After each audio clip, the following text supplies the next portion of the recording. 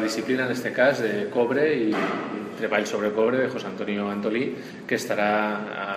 a disposició de tots els castellonens de tota la província, si en la capital, hasta finals del mes de febrer. Seran tot un mes en el que podran gaudir d'aquest espai cultural obert en el que no només podran veure teatre i música, sinó que també arrimar-se a la sala d'exposicions i veure este magnífic treball decoratiu i artístic d'aquest artista de Castelló.